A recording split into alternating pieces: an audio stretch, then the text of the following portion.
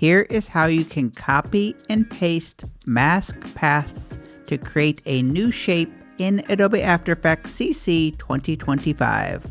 With no layers selected, I'll click on the shape tool, choose the rounded rectangle tool. I have an orange fill color, a yellow 15 pixel stroke. I'm just going to click and drag out a shape.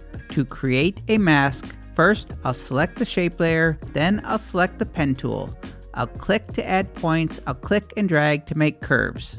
And I'm just going to draw out a mask, and I'll click on the first vertex to close out that mask. If you want to convert the mask to a shape, twirl open the shape layer, twirl open masks, select mask path and copy it, Command or Control C. Then twirl open the shape layer contents until you see the shape layer path select the path and paste Command or Control V. Now you've got yourself a shape created from the mask, and my name is Mike Murphy. Cheers.